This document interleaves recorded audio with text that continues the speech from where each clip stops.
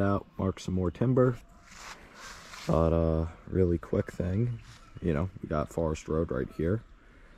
Uh, first day I was out here, this old school, you know, stone culvert.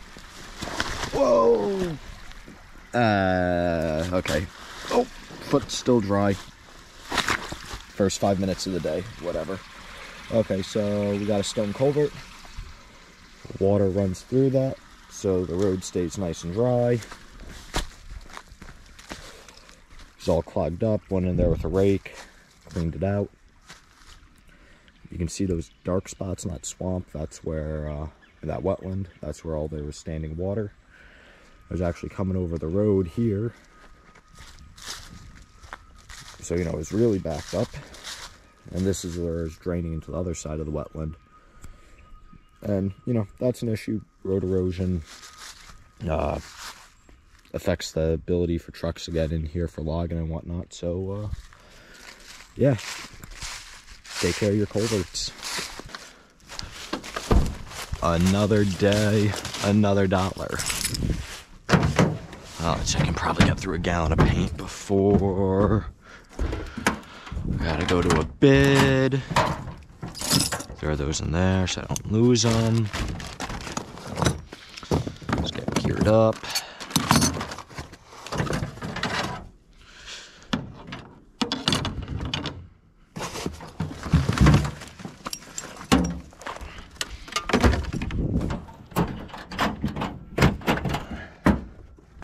see, paint gun's already loaded from yesterday.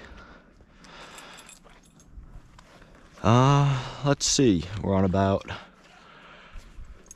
40, 50 acre woodlot. Can't remember right off the top of my head. Doing a mm, bit more aggressive selection, group selection harvest. Really, none of the wood here spectacular. Not that I've seen yet, at least. And a little bit about the landowner. Not that I want to completely give away people's personal information, but you know, forest management is all about landowners' goals and objectives. So, all guys in his mid 80s, um, worked as a machinist, you know, his whole life, but he had, uh, you know, cattle and ran his own little sawmill as, uh, you know, side work, kind of make some money, do what you love type things. So uh, he has a pretty strong connection to his land, really appreciates what he's able to do with it. But also, he's in his mid 80s now. He's looking, you know, generate some revenue, make sure everything's squared away. So that's what we're here for. Cut out what can make him some money, leave some good stuff to, you know, regenerate a good, hopefully better forest. So, yeah. Guess I can talk about some things I did and then I can get back into marking. Um, so, it's not so bad right here, but this kind of turns into a big giant ravine. Oh, and that's also the property line, so that doesn't help. But he owns some land that side of the stone wall way down a ways it levels out again but it's a ravine there for a while so we can't harvest down there. We also can't drop any trees down there because it's going to be a real pain in the butt for the logger to get them so right here we got three oaks. Uh yeah that guy halfway decent shape but not not even a great looking tree. That one isn't great looking either but at least it's got a little bit bigger of a crown. Yeah, it's losing some branches, but a lot of the trees here are doing that, so it's kind of, uh, you gotta play with what you got. This guy, yeah, sure, it's definitely an UGG. We, we probably would want to get rid of it, but uh, yeah, this isn't a wildlife hole yet, but it's definitely gonna develop, develop into that. So it's gonna stay. I don't know. Maybe at least it can produce some seed, but I bet that rock goes pretty far up into that butt log and, you know, before you know it, was it really worth cutting that tree? So, we're not liquidating this guy's property. He wants it to be a forest. Wants him, you know, release the good stuff. But also, he wants to make his money. So, it's a balance of that. Balancing act. That oak's shot. That one's shot. It's probably one of the nicer ones I've seen here.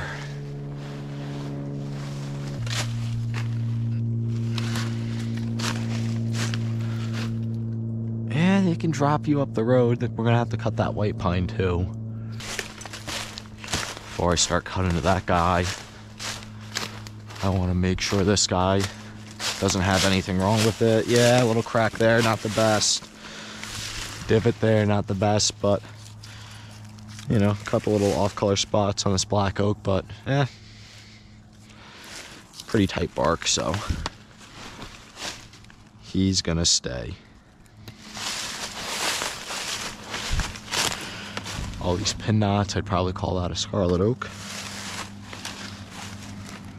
Do you make a log? No, you're firewood.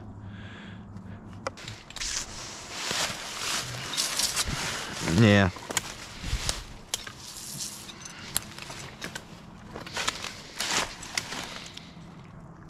Black oak uh, 20.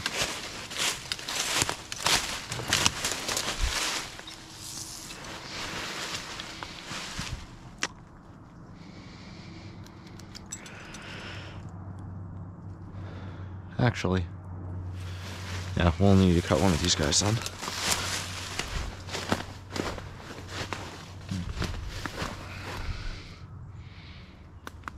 We'll get rid of this guy.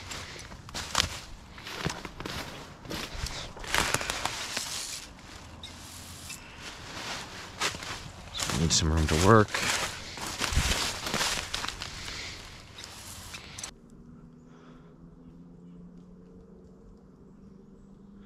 Yeah, Black Oak 22.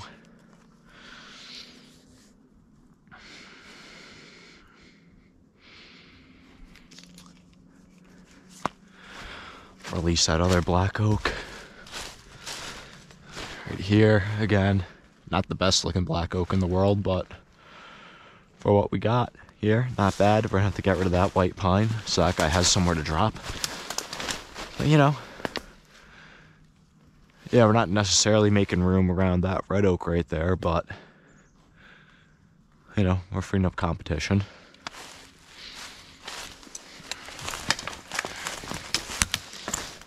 Alright, let's get rid of Mr. White Pine. I hate when people cut something and then they don't take the whole tree. Well, there's an argument to be made that compartmentalized, still doing fine. Probably one of the nicer looking trees on this lot, so whatever. If I stay and these guys are going because we want to leave them too. Is if they get too much sunlight, you get all this epicormic branching, the pin knotting, so it's a balance of opening them up so they can grow bigger and have space to release seed and those seed be viable versus they get too much light. Now they're all epicormic up. The grade of that log goes down. because There's more defect. Mm hmm.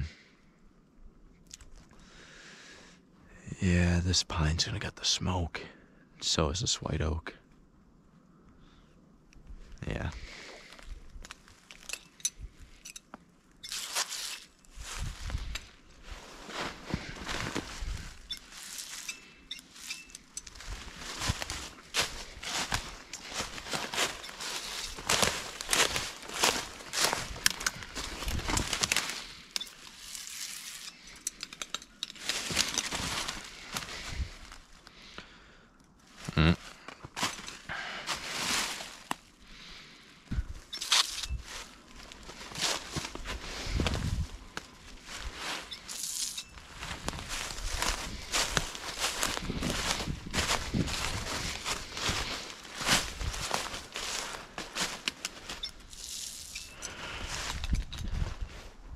Those two living next to each other.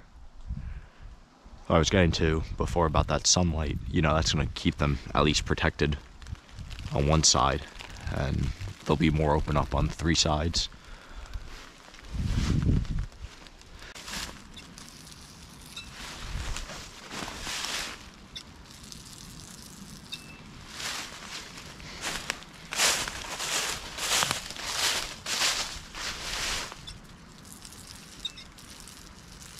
Got me some pump.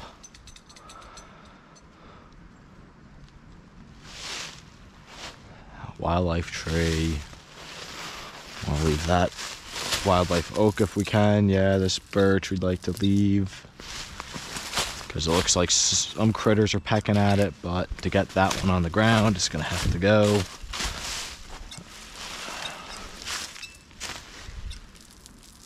Yeah. Let's see, for those oaks, this might just be a case of we open up everything else around them.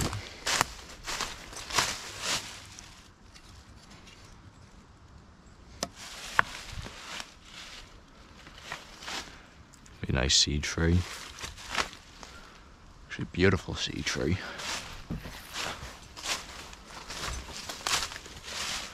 Perfect seed tree. Worth way more seed than it is for lumber. Yeah, got some nice fine branching still up there.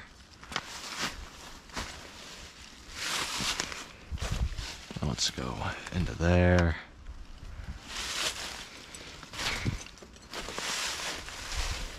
There, yeah, he'll fall down that way.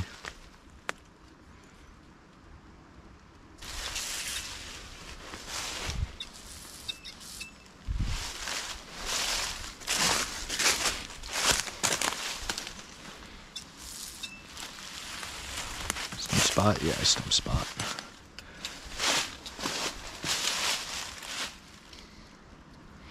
They're small. Small man.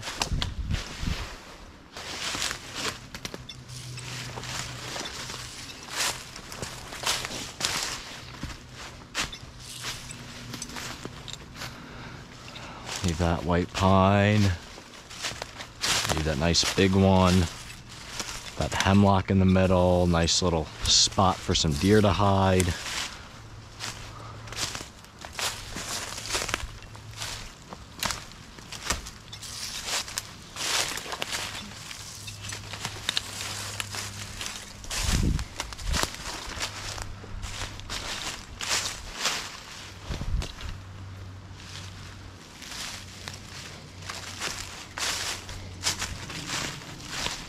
Who am I helping out if I get rid of this one? No one really.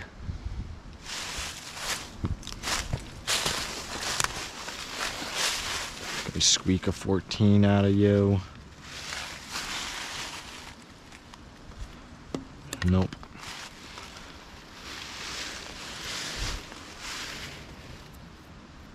Mm, this one's in good shape. That one's got split crown. Get rid of this guy, be helping out that guy.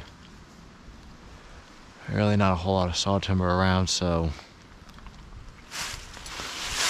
I can justify it.